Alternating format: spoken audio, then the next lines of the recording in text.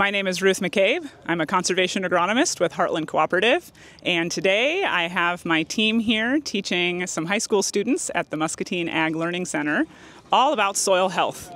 We're doing a couple fun soil demonstrations showing the students how having more bacteria and fungus and insects in the soil can help break stuff down and make those nutrients available to plants. It's a fun day, the weather's gorgeous, we're having a good time. So who knows what tillage is? Breaking up the ground. Breaking up the ground, right? And basically what we're going to do is we're going to simulate rain falling on the soil, okay? We'll go ahead and get that soil nice and wet, fill that up.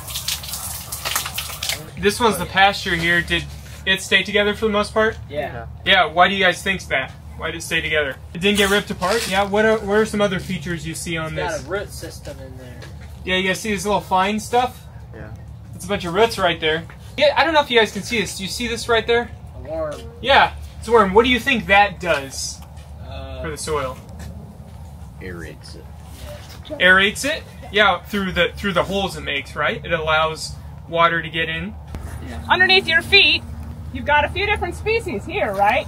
Now, as humans, if you're going to eat food, you just want to eat apples all day, every day, every meal, 365 days a year? No. No. and I like apples and I don't want to eat that.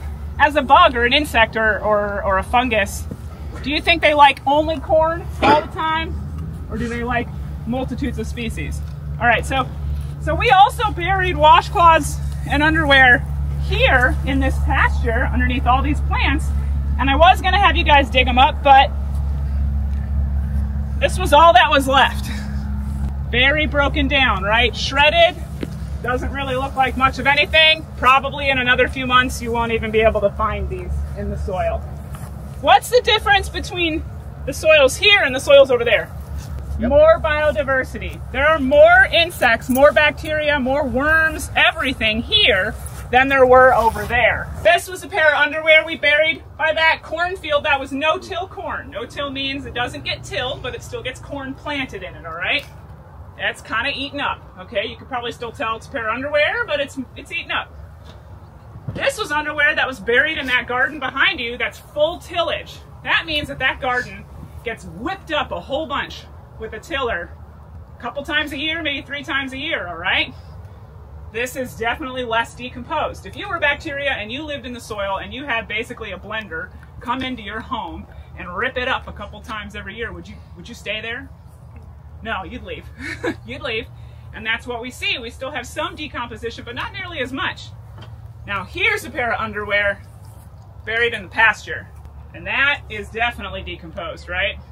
We got a lot of bugs, insects, fungus that live in the pasture. It never gets disturbed by a tillage implement, right? And it's got a bunch of diversity above ground. As a farmer, you don't have the option of growing your corn in a pasture. That's not going to work. Corn doesn't grow that way. But you can make choices how you manage your soil where you can still support some bacteria in your soil and still grow corn. All right? And there's a it's a fine delicate balance. No-till is one practice farmers can use to encourage bacteria to grow in their soil. A lot of farmers are 100% no-till, some farmers are 50% no-till, so they switch between their corn and their beans. It's okay. Some farmers use what's known as vertical till, which is minimum disturbance tillage. There's all kinds of ways you can manage your soil to encourage bacteria and stuff to live in your soil.